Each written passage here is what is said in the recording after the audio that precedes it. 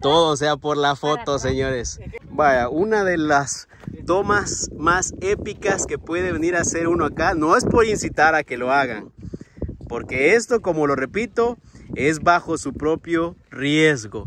Porque miren, ahí andan ya los sopes diciendo, ah, mira ese, almuerzo seguro, ¿ve?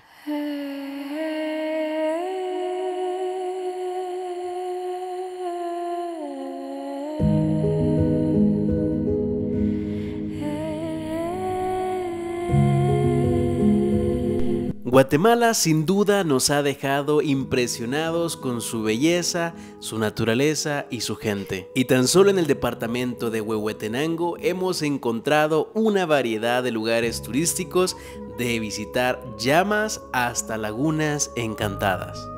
Y siguiendo con nuestro recorrido, nos movimos al área de Nentón, ya que aquí se encuentra uno de los hoyos más grandes de Guatemala, el hoyo El Cimarrón. Y en este día te traigo la guía completa de cómo llegar y sugerencias, así que quédate en el video para no perderte de esta aventura.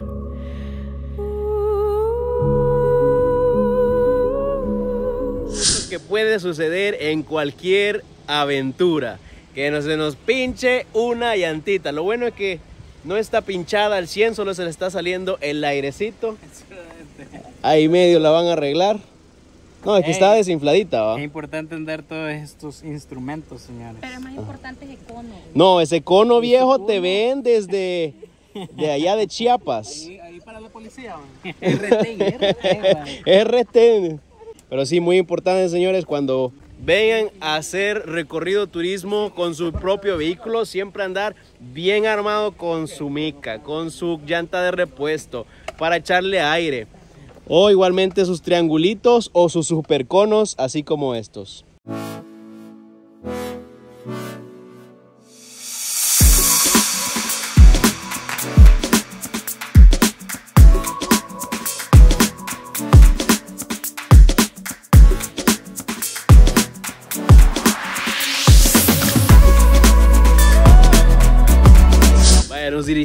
Hacia el lago internacional, sin embargo, en el recorrido o en el camino hacia ese lago podemos encontrar otro punto turístico de acá, de Nentón, el cual es el Hoyo El Cimarrón.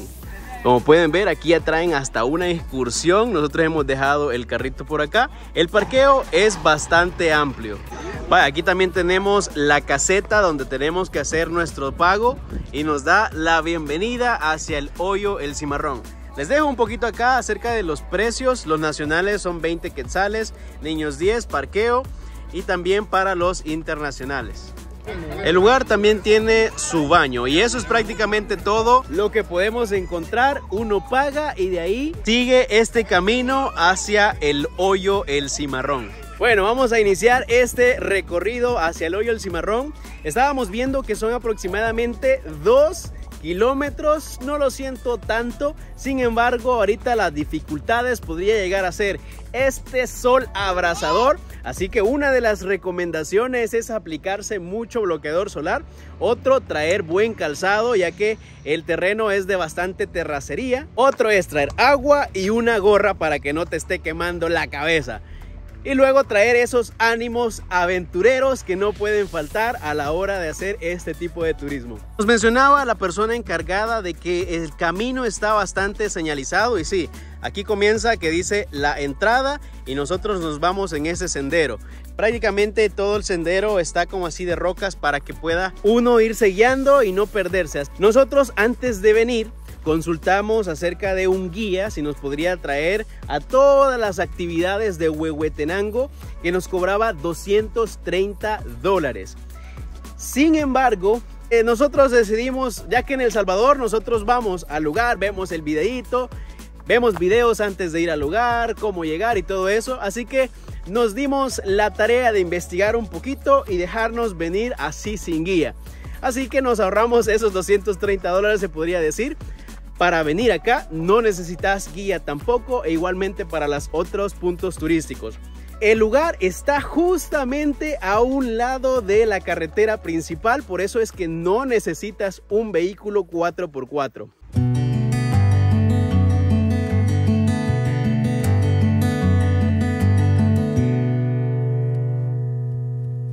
Llevamos unos 12 minutos caminando no se siente tan matado el recorrido hasta aquí. Pero ya empezamos a ver los ascensos. Vamos a pasar por todo eso de ahí. Y que poco a poco la dificultad va subiendo. Pero igualmente los ánimos también. Bien, a pesar de ser una zona bastante árida, lo bueno es que en el recorrido encontramos varios arbolitos donde uno puede descansar y se siente una brisa fresca. Esto sí o sí es bastante necesario en este tipo de recorrido para no sentir tanto, tanto el poder de este sol abrasador. Aquí vamos allá a iniciar oh, un poquito de ascenso porque venimos de casi que planicie y ahorita sí ya inicia lo perro como decimos allá.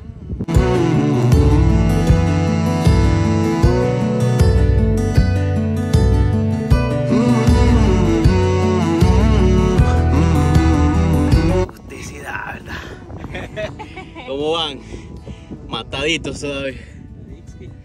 Bueno, ya subimos la primera subida matadora del recorrido. Desde aquí, desde aquí, alcanzamos a ver allá donde hemos dejado los vehículos. Hemos recorrido prácticamente todo eso. Se mira cortito desde aquí, pero es matado, señores. Pero aún así, para que vean que se puede venir con toda la familia, medio despacito, ahí vienen con la Bendy, ¿ve? Así que está recomendado hasta ahorita, vamos a llegar al hoyo. Yo ya lo he visto en video, así que por eso digo que está bastante recomendado. Pero vamos a ver cuánto nos falta. Un círculo. Es cierto, tienen como un círculo. Ey, mira ahí, como que han formado algo, yo creo que... Creo que es un glande. Pero sí, miren, nos está sorprendiendo que está rodeado completamente de montañas. Muy bonito. Y nosotros venimos aquí en el recorrido, pero nos sorprende hasta el zacate, viejo. Hasta el zacate, como esta hierba es de un color así rosadito, muy bonito. Cosas que nos podemos encontrar acá en Nentón, Huehuetenango. Cuando andábamos en Huehuetenango, pero la zona de Chiantla, encontramos mucha variedad de pico de gallo. Y aquí encontramos esta rosadita. Vaya, por fin ya vamos llegando. Creo yo que significa que estamos en el kilómetro 2. Y ya falta poquito, señores. Ya falta unos pocos pasos de llegar al hoyo el cimarrón. Ya llevamos aproximadamente una hora, casi, casi la hora pero porque vamos a un paso de que llevamos los niños, vamos descansando en cada sombrita, así que la llevamos bien tranquilos. Yo no me siento para nada cansado porque vamos justamente a un paso a nuestro propio ritmo. Ya si la vendríamos acelerando, quizás si se hace una, unos 30 minutos hasta aquí. ya nos están tirando el llamado que por fin estamos a pocos pasos Después de una hora y unos cuatro minutitos, ya estamos a punto de ver uno de los hoyos más grandes de Guatemala. Y por fin hemos llegado. ¿Dónde pisas? Dice. Al hoyo El cimarrón. ¡Joder!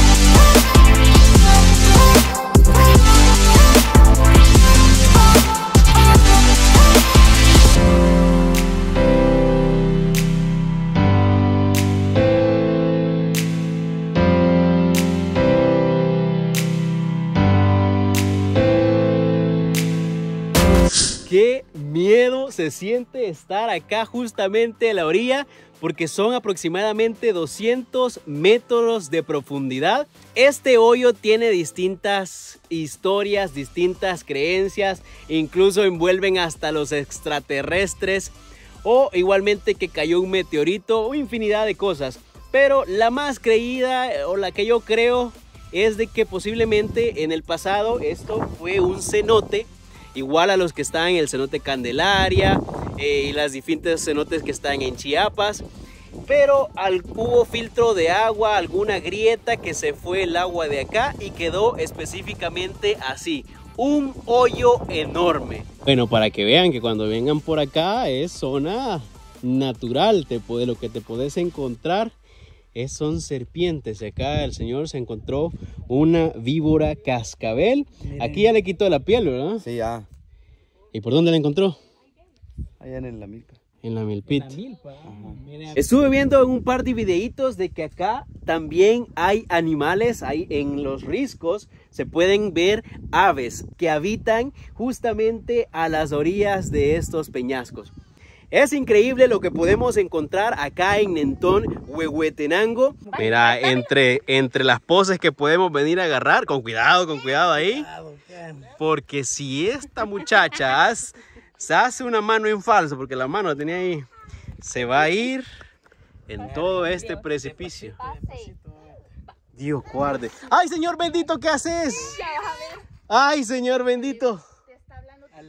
No, hombre, pero esto no es zona segura. Aquí es, aquí es bajo tu propio riesgo. Si aquí se lavó, si aquí está bastante frágil la tierra, podríamos, podríamos ser las últimas tomas que hagamos. Tranquilo, tranquilo.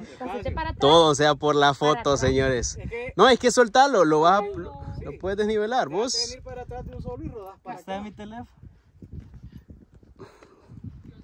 Vaya, una de las tomas más épicas que puede venir a hacer uno acá. No es por incitar a que lo hagan, porque esto, como lo repito, es bajo su propio riesgo. Porque miren, ahí andan ya los sopes diciendo, ah, mira ese, almuerzo seguro, ve. Algo que sí estamos notando es de que a pesar de ser una zona turística, no le han quitado para nada lo natural. Es decir, Aquí no vas a encontrar una señalización hasta aquí no pase, aquí no vas a encontrar una barrera, aquí no vas a encontrar una malla que te detenga si te caes, si te deslizas. Todo es bajo tu propio riesgo. Eso le da un plus adicional a la aventura, pero igualmente tenés que tener en cuenta de que al andar niños acá, no se asomen para nada en esta zona. Por eso mi hermano venía con niños y se tuvieron que quedar en aquella zona de acá. Porque a veces los niños andan corriendo y aquí un paso en falso y hasta ahí se acabó. Esta zona de aquí es un poquito de piedra rajada, sin embargo nos comentaban los del lugar, por aquí los que llevaban la serpiente, de que es bastante seguro. Todo esto es firme, nunca ha pasado algún accidente de que una, una roca de estas se desprenda o también que alguien se haya caído. Una de las actividades también que podemos venir a hacer acá es rapel. Sin embargo, eso solo lo estuve leyendo en un par de artículos del lugar, pero no tengo los datos de quién hace esa actividad. Así que ahí comentame si te atreverías a bajar en este hoyo haciendo rapel.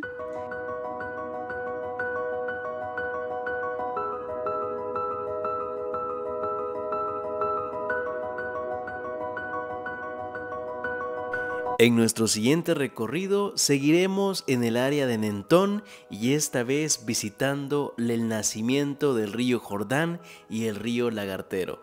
Además, saltaremos a uno de los cenotes más bellos de Huehuetenango. Así que suscríbete para no perderte ninguna de estas aventuras que tenemos por este bello país. Nos vemos en la próxima, viajeros.